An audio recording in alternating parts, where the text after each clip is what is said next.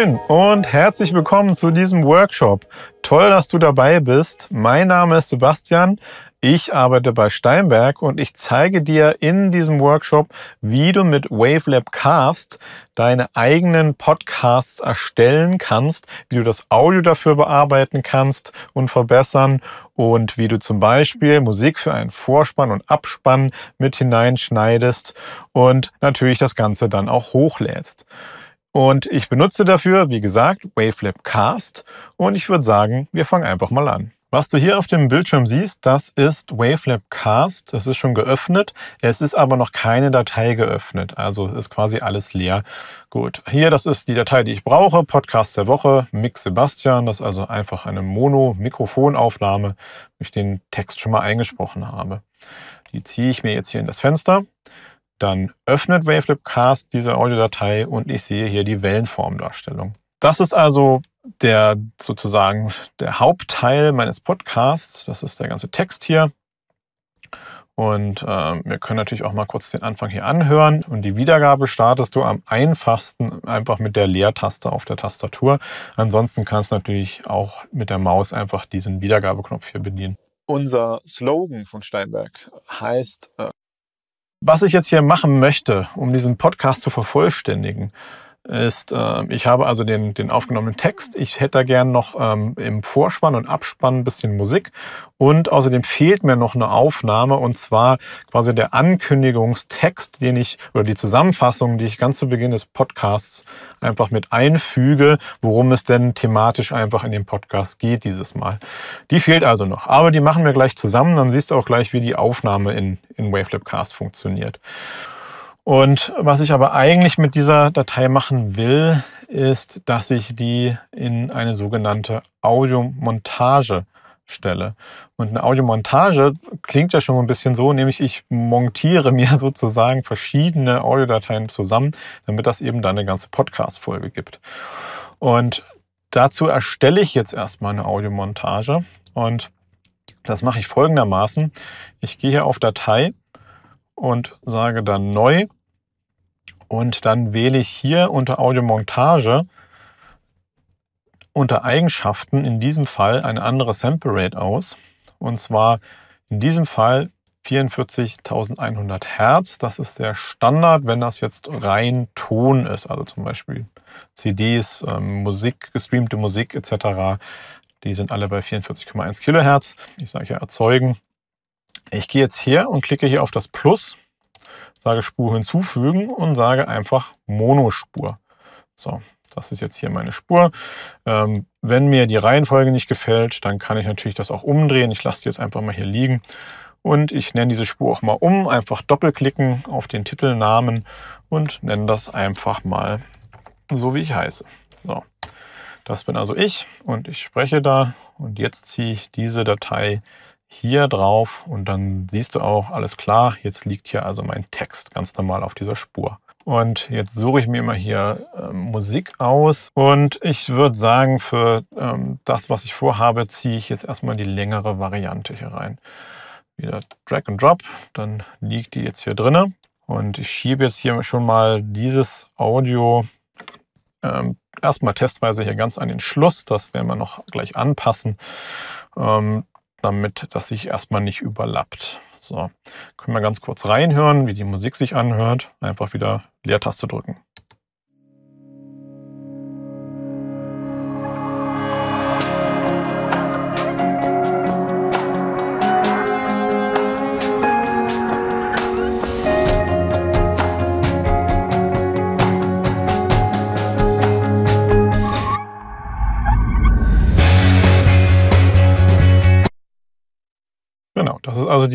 Die ich dann gerne im Hintergrund gerne hätte am Anfang. Über diese Musik würde ich jetzt aber gerne noch drüber sprechen, nämlich, was ich ja eingangs erwähnt hatte, ich würde gerne eine Zusammenfassung des Podcasts so als Einleitung auch gerne am Anfang haben. Ich füge mal noch eine Spur hinzu. Und diesmal nehme ich wieder eine Monospur, weil ich ähm, ein Mikrofon aufnehme und das ist halt in dem Fall Mono. Und ich nenne das hier einfach mal Vorspann. und gehe mal ganz an den Anfang hier. Und ich schalte jetzt auch erstmal diese Spur auf Solo. Jetzt ähm, wollen wir also aufnehmen. Und ich zeige dir erst ganz kurz, wie hier gerade mein Aufnahmesetup ist, damit du das äh, einigermaßen gesehen hast. Und zwar siehst du da auf dieser Seite das UR24C. Das ist ein Steinberg USB-C Audio Interface. Das ist an meinem Rechner angeschlossen, ganz normal über USB-C. Und an diesem UR24C ist angeschlossen das Steinberg STM01. Das ist unser Mikrofon, was in ähm, einigen Bundles enthalten ist. Und das ist ganz normal über XLR angeschlossen, dann an dem UA24C. Und die Phantomspeisung ist eingeschaltet. Kannst vielleicht erkennen, hier ist eine rote Lampe eingeschaltet. Und man erkennt auch am Mikrofon, dass die Phantomspeisung eingeschaltet ist, einfach weil das eben auch leuchtet. Der nächste Schritt ist jetzt, dass ich einmal Wavelabcast sage, was es denn jetzt eigentlich gerade aufnehmen soll. Und zwar genauer gesagt, welchen Eingang von meinem Audiointerface soll es denn jetzt aufnehmen. Und ähm, das geht ähm, sehr einfach, indem ich auf diesen Aufnahmeknopf drücke. Und wenn da noch nichts zugewiesen ist, also da steht kein Eingang, dann geht automatisch dieses Menü auf und ich sage jetzt einfach, okay, welcher dieser beiden Eingänge ist es denn? In meinem Fall ist es eben der erste Eingang, wo das Mikrofon angeschlossen ist und das wähle ich dann auch einfach aus. Wenn du jetzt auf den Aufnahmeknopf hier drückst, Aufnahme aktivieren Knopf, siehst du, dass hier diese Aufnahme aktivieren Knopf anfängt zu blinken. Und zwar wechselt der zwischen Aufnahme und Pause. Das liegt daran, dass diese Spur jetzt aufnahmebereit geschaltet ist, aber die Aufnahme noch nicht läuft. Ich habe hier natürlich Kopfhörer am Start. Die sind jetzt angeschlossen an dem UA24C. Die setze ich mir jetzt auch einfach auf. Das Mikrofon ist in einem ganz guten Abstand und dann kann ich auch das Monitoring einschalten. Und wenn ich jetzt Aufnahme drücke, dann beginnt eben tatsächlich auch die Aufnahme und ich fange dann auch an, diesen Text zu sprechen. Herzlich willkommen zum Podcast der Woche. Heute geht es unter anderem um folgende Themen. Der Wechsel von Sommer auf Winterseiten. Macht das für den modernen Gitarristen überhaupt noch Sinn? Außerdem habe ich Ernährungstipps für Keyboarder für euch und ich spiele euch ein C vor. Los geht's. Gut, das ist soweit erstmal okay. Da sind mir ein paar Kleinigkeiten aufgefallen, die ich jetzt gerne mit dir zusammen korrigieren möchte. Und zwar kann ich hierher gehen und äh, den Anfang einfach mal abschneiden, weil da ist ja nur Stille oder wie du hier vorne vielleicht gehört hast, ähm, hier ist so ein bisschen Gerumpel, ich da ähm, an den Tisch gekommen bin. Das wollen wir natürlich jetzt nicht in unserem Podcast haben. Das heißt, ich gehe einfach an die entsprechende Stelle mit dem Wiedergabecursor und drücke dann die Taste S. Und S bedeutet einfach schneiden, und zwar am Positionszeiger zerschneiden. Und dann kann ich diesen vorderen Teil einfach auswählen und dann wieder Entfernen drücken und dann ist das auch schon weg. Jetzt hätte ich das natürlich gerne eben als Vorspann vor dem eigentlichen Podcast und es soll so sein, dass da auch jetzt nicht viel Platz ist zwischen quasi der Ansage und ähm, dem Beginn des eigentlichen Podcasts. Ich ziehe jetzt hier den, meinen Text, meinen Vorspanntext mal so hin, rein optisch erstmal so ungefähr, dass quasi die Musik leise anfängt und dann fange ich auch an zu sprechen und schiebe jetzt hier unten den eigentlichen Podcast so hin, dass da vielleicht ja, ein kleines bisschen Luft ist und das Ganze hören wir uns erstmal an und dann erkläre ich dir, was es hier jetzt noch alles zu tun gibt.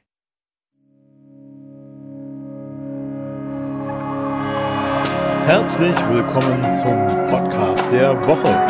Heute geht es unter anderem um folgende Themen. Der Wechsel von Sommer auf Winterseiten.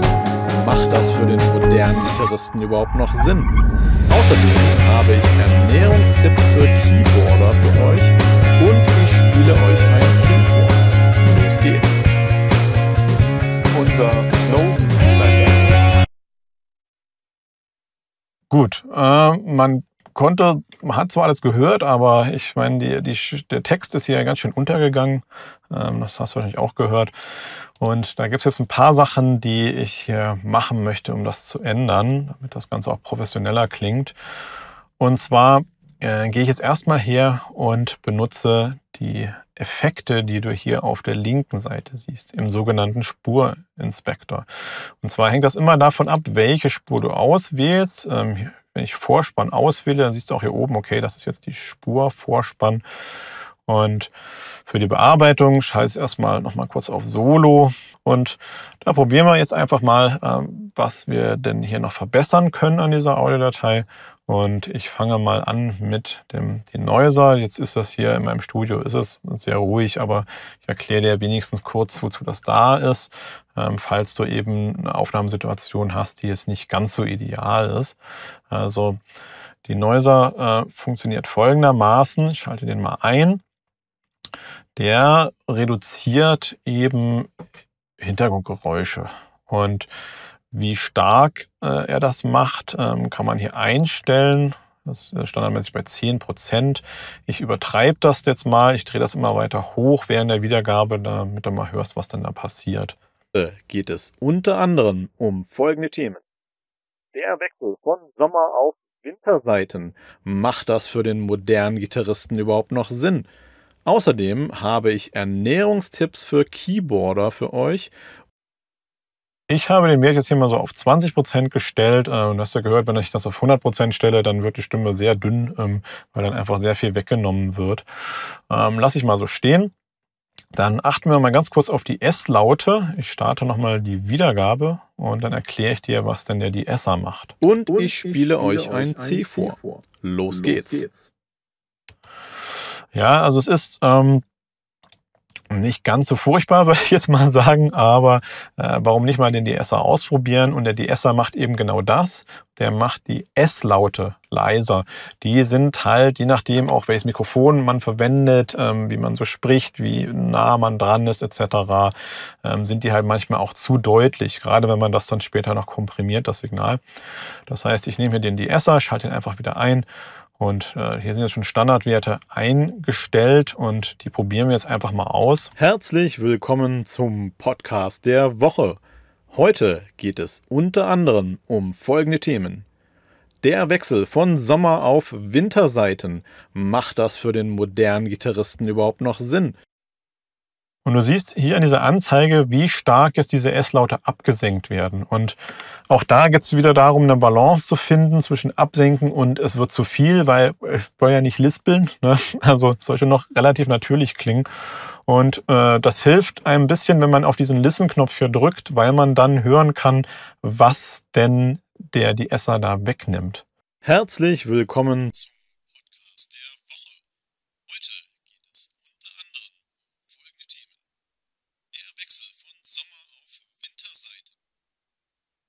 Und mein Tipp ist da, dass du, äh, äh, gerade wenn das jetzt sehr auffällige S-Laute sind, einfach mal diesen Listen-Knopf einschaltest und dann diesen Character-Regler hier bewegst. Und zwar veränderst du damit den Frequenzbereich, in dem der DSer arbeitet. Und dann hörst du einfach mal, wenn die S-Laute dann am deutlichsten sind, am deutlichsten zischeln, dann ist das ein guter Ausgangspunkt, um das dann zu reduzieren. Ne? Wir kümmern uns jetzt um das Veredeln. Und zwar gibt es da erstmal einen Exciter.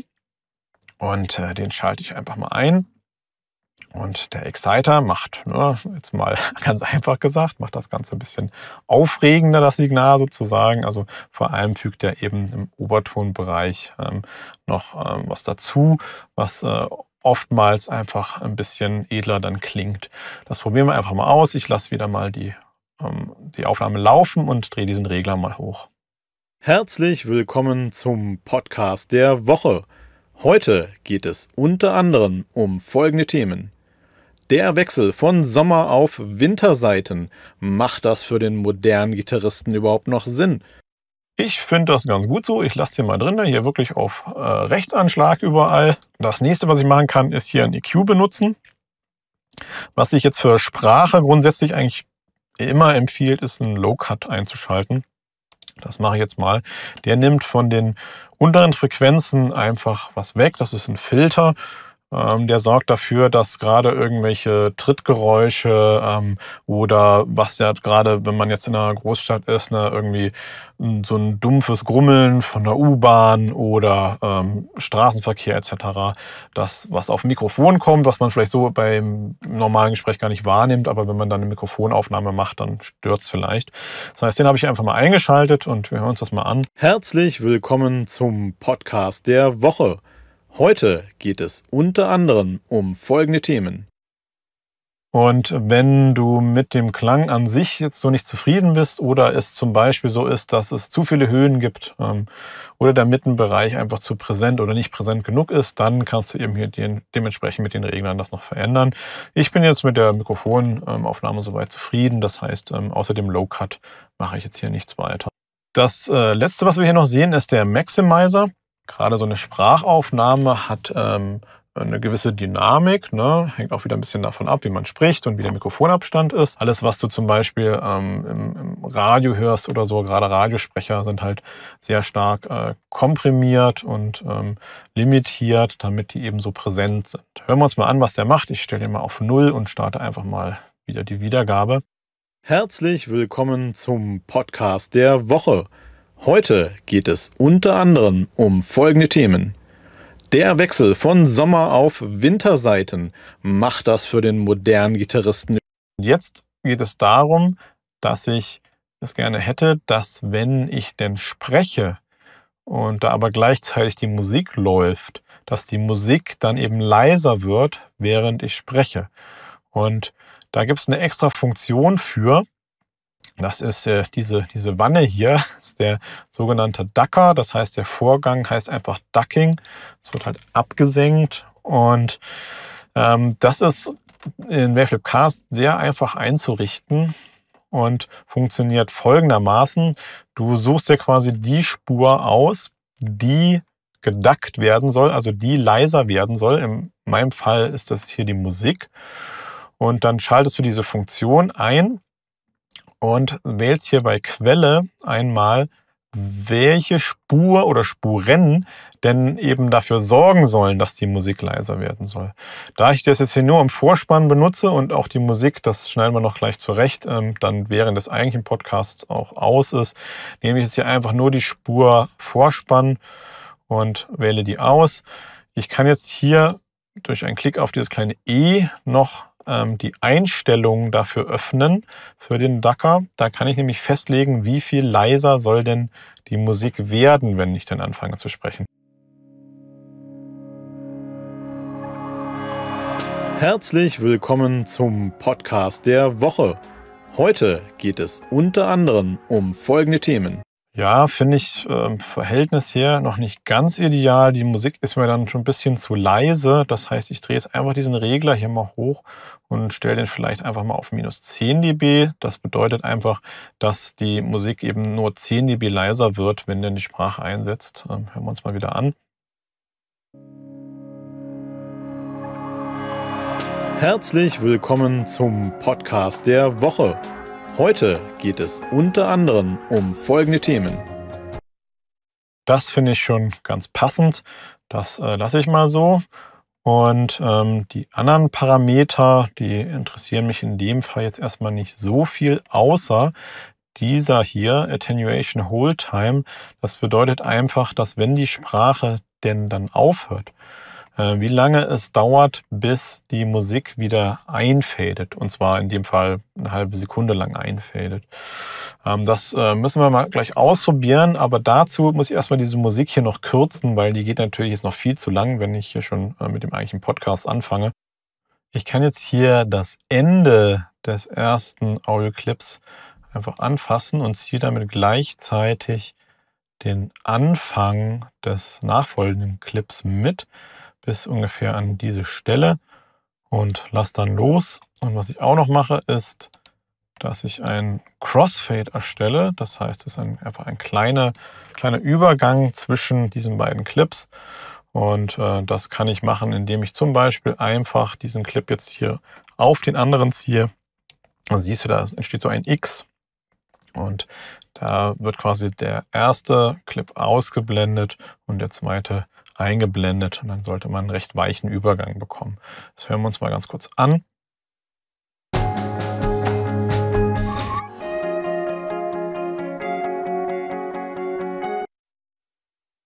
vom Timing her äh, noch nicht ganz ideal. Ich äh, ziehe das mal noch ein bisschen hier rüber. Das etwas länger doch. Probieren wir das mal.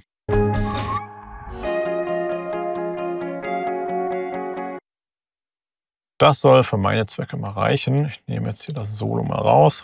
Und jetzt hören wir uns den kompletten Vorspann einfach nochmal an.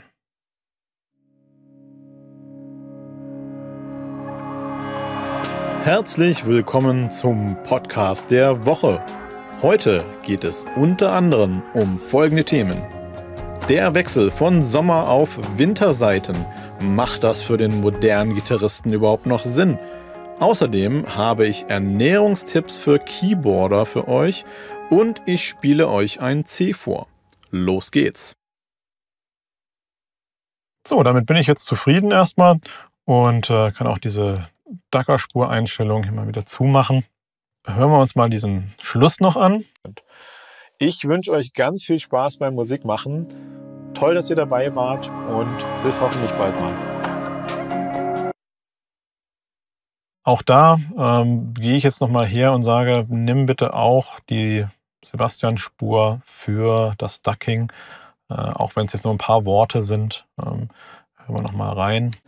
Toll, dass ihr dabei wart und bis hoffentlich bald mal.